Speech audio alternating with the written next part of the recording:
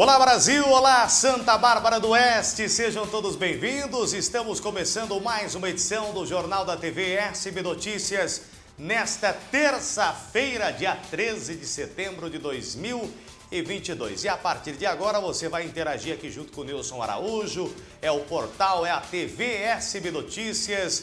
Através do nosso WhatsApp você fica à vontade para enviar vídeos, fotos, problemas aí no seu bairro, na sua rua.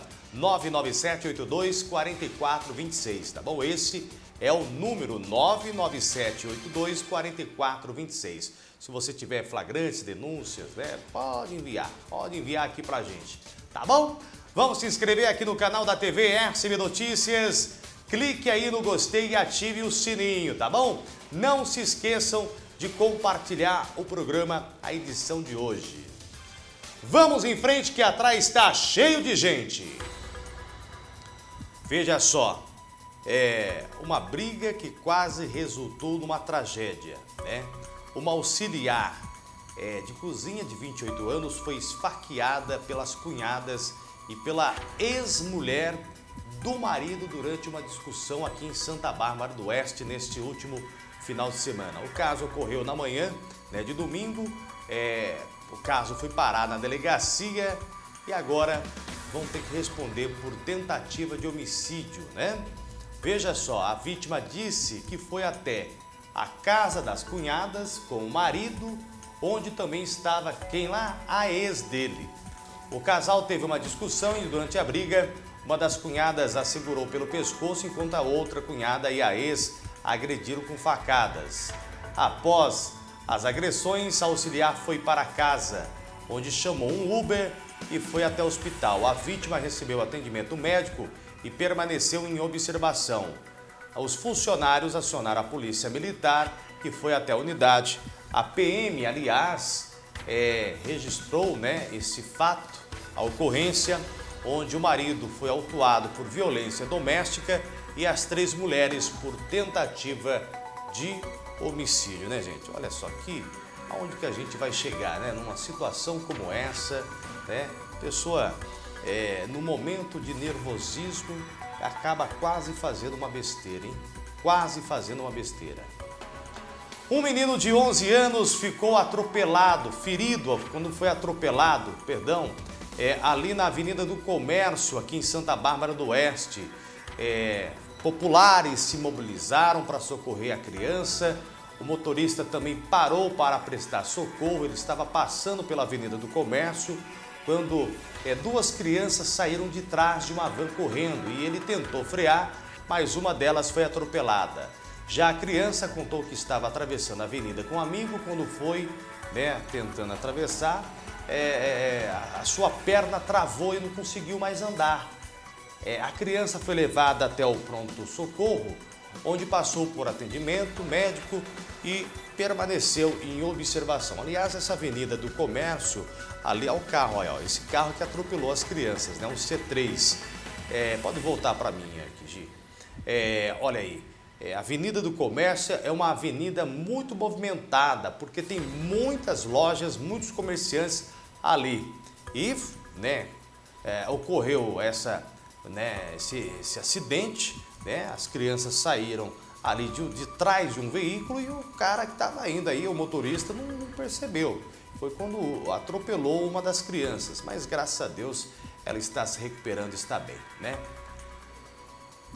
Eleições 2022. A Justiça Eleitoral aqui de Santa Bárbara do Oeste notificou dois candidatos por utilização de propaganda eleitoral é, irregular. Né? As denúncias das irregularidades é, foram feitas através do sistema Pardal do, do Tribunal Superior Eleitoral, um aplicativo gratuito que qualquer cidadão pode baixar e fazer suas denúncias.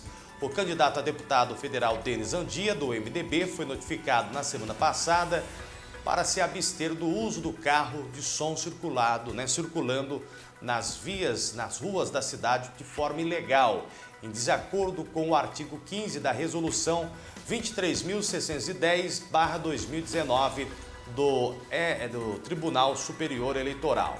Também foi notificado o candidato a deputado estadual José Antônio Ferreira, doutor, doutor José, do PSB. Conforme informou a Justiça Eleitoral, foi vetado ao candidato o uso de um boneco circulando na Feira Livre, que é um local considerado bem de uso comum e não é permitido. Entre essas e outras regularidades, né, minha gente? Olha o carro de som aí, né? Também está né, as bandeiras, né? As bandeiras é, é, que, que né, inclusive estão aí é, colocadas nos canteiros centrais, aí que vocês podem ver, bandeiras de candidatos é, em diversas vias de grande fluxo do cidadão. Essas bandeiras estão fixadas, fixadas no chão, o que não é permitido. Na mesma resolução do artigo 18 do parágrafo, parágrafo 4 é, da resolução 23610 de 2019. É, desde que as bandeiras sejam móveis, ou seja, que tenham uma base né, é, no pé dela e que é o que não está sendo cumprido. Né? Então, é, algumas irregularidades e a Justiça Eleitoral está de olho, está de olho. A delegacia, a DIG, Delegacia de Investigações Gerais da Cidade Americana, prendeu ontem à tarde três homens, isso, três acusados de receptação, veja só, adulteração de sinal de identificar veículo automotor e ação criminosas, três crimes. Elas foram presas por volta das três da tarde no Parque da Horto, na Rua Vitória, em Hortolândia, isso aí.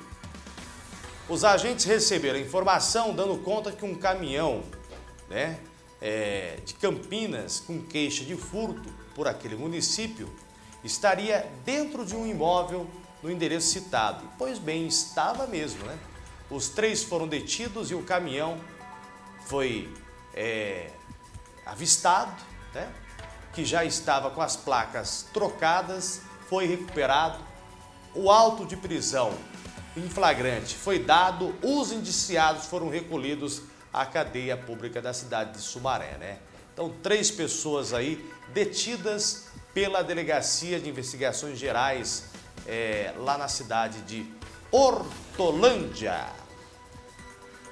Muito bem, o nosso jornal, o Jornal da TV SB Notícias, agradece o seu carinho, fiquem todos com Deus e amanhã a gente volta com mais uma edição aqui do nosso jornal, tá bom? E agora estamos juntos aqui, ó, sempre na melhor programação do portal que mais cresce na nossa região. Porque mexeu com você, mexeu comigo. Tchau, meu povo!